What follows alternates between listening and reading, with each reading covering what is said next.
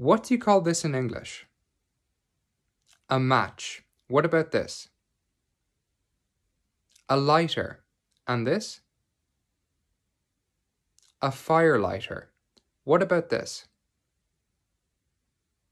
A fire extinguisher. And this?